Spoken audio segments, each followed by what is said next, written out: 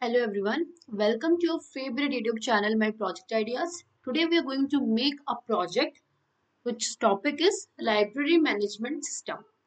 As per the name suggests, I know it's pretty clear to you that uh, this is a system, this is an application which is developed to basically manage a library functionality, right? So let's do first which we are we have done from the last projects. Requirement analysis.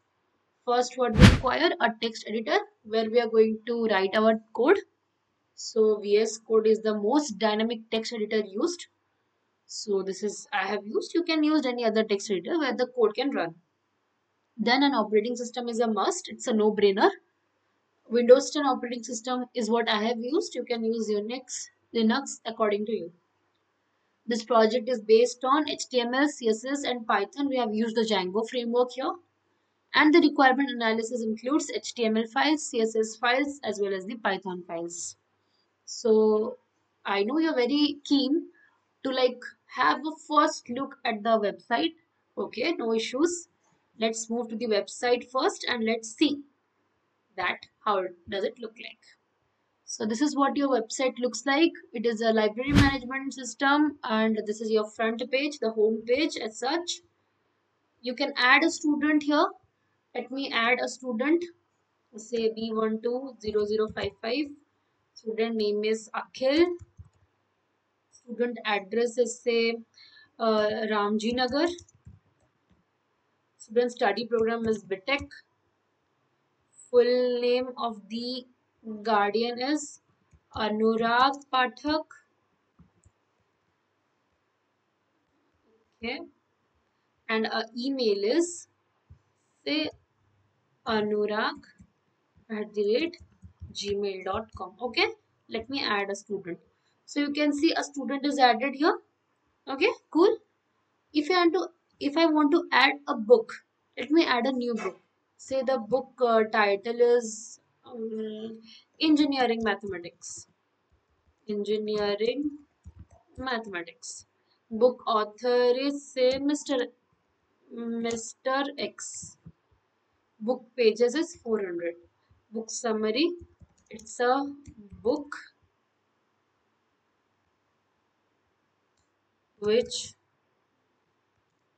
provides valuable info for semester studies okay that works okay add book so see my book is added here I do not have any ID. Okay, no problem. If I want to view the, see this is from the add issue book. So I can issue a book also like Simran Patnaik is issuing a book called Engineering Mathematics and the book is in good condition. If I issue it, it shows Simran Patnaik has issued on April 4, 7.22 pm a book which is what? A maths book. And the actions here are like I can return, refund and edit also. And I have not returned the book right now okay? And the number of students enrolled are these two Akhil and Simran. And the books these three books are available. And these two books are issued. And the books are in good condition so this is what our library management system basically looks like. Now I know you're very keen to go and look have a verification have a look at the code. No issues. Let's have a look at the code first. Let me close the terminal. Okay. First let us have a look at the readme so how do you run a project?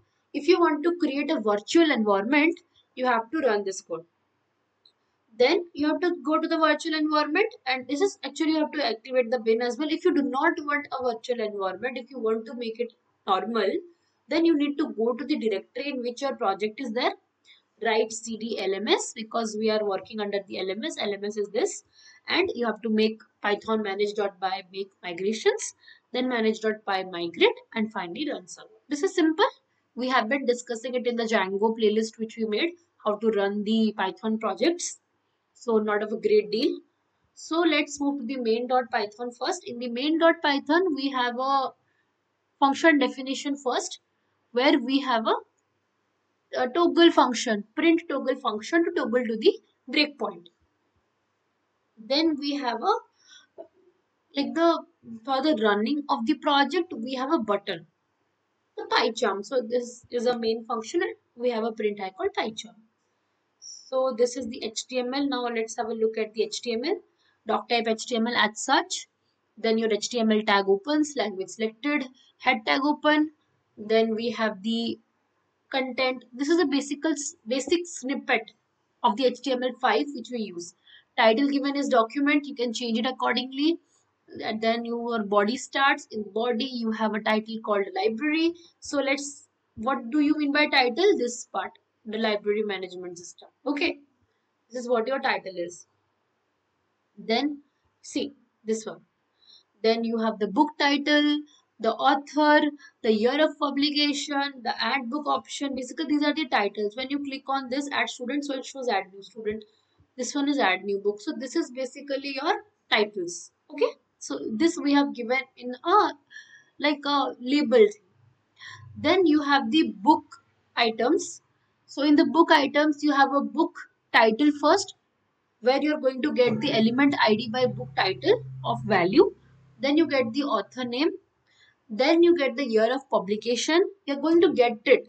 Then you get the age of the book. This is basically the thing which is inputted by the user. Then you get the book list, book item. So this, these are the various inputs which we take from the user. Then you have the remove book option where you can remove the book also like you can remove the instance of a book. Then here we have given the CSS as well because as such no CSS was required. So under the style you gave the label color black font style is inherit the button is also there the, the font size is 150 percent you can change it no issues font size is medium color is given dark green then in the input you have a border color, color and font size and you have the style tag closed. Now see do not touch the venv because it's a virtual environment. This is created you did not know this the git ignore and stuff is here.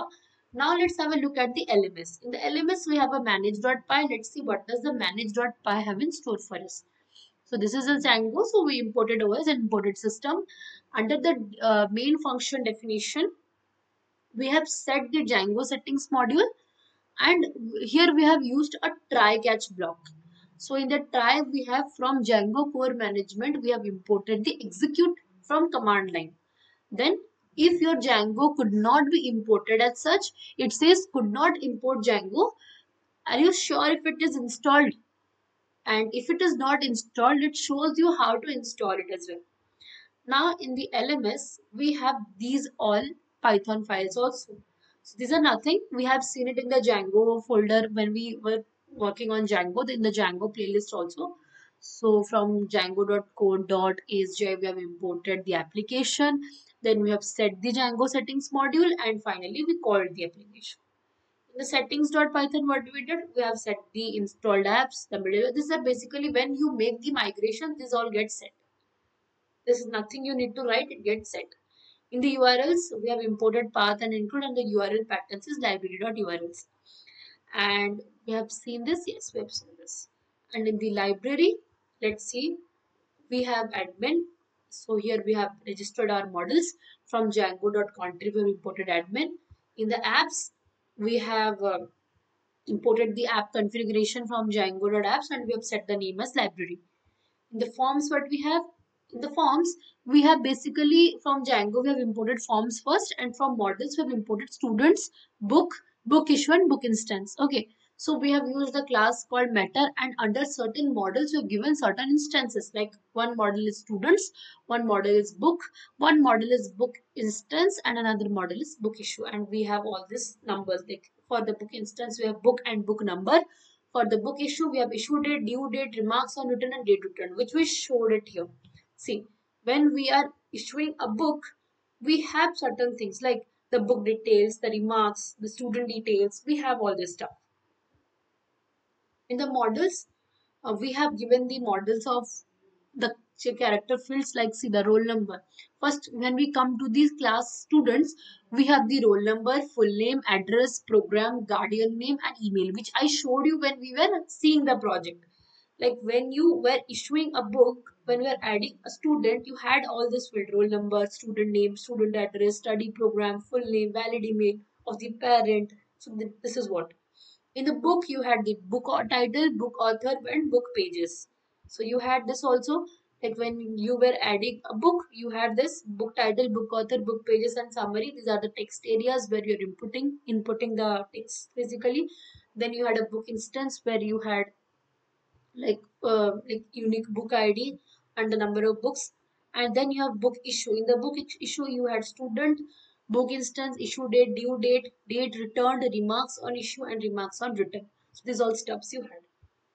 In the test.python we have imported the test case from the django.test urls.python basically you have imported the path from django.urls and you have imported views.